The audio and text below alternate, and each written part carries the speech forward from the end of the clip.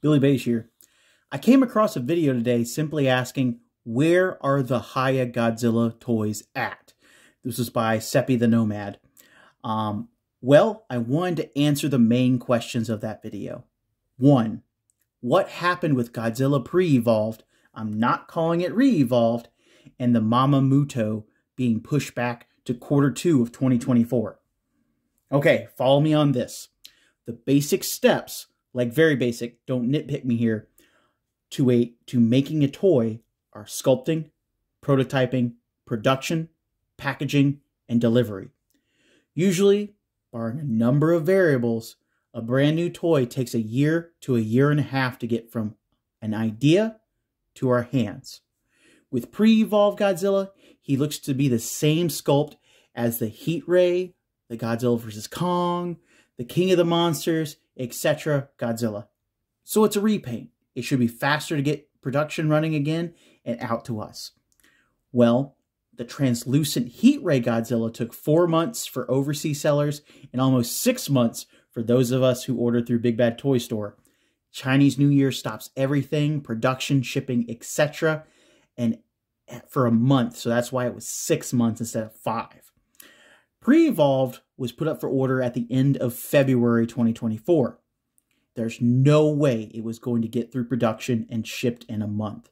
It's arguably the most accurate MonsterVerse Godzilla right now, so there was definitely a high quantity order, so that makes production steps take longer. And they they're more likely uh, started production once Chinese New Year was over and everyone's back to the factories in the first week of March. So four to five months is what we're looking at. So like July, August is when we'll probably end up getting pre-evolved Godzilla in our hands. Mamamuto was up for pre-order in August of 2023. We saw her at SDC in July 2023. That's only about eight months. She's a completely new sculpt, new tooling, and new problems that first run of Hiya Godzilla figures had issues, and they definitely don't want that to have that to happen again with the Muto. Also, it's the only official Muto action figure, so again, it definitely had a high order quantity too. His next question was, why isn't there a pre-order for Godzilla X Kong, Beast Glove Kong, or Scar King?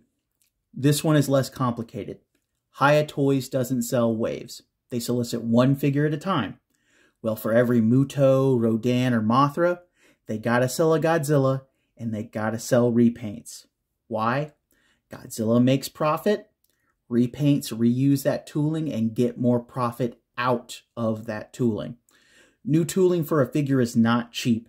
The ballpark estimate for a unique new 112 scale action figure, just a normal action figure, is $30,000 and up and Godzilla helps pay for that. Seriously, counting the very first Hiya Godzilla before the reissue, we're at 10 Godzilla figures out of 21 kaiju figures from Hiya. So before we get Beast Glove Kong, and definitely before we get Scar King, there's got to be another Godzilla, another repaint, or enough profit from Shimo to pay for that tooling.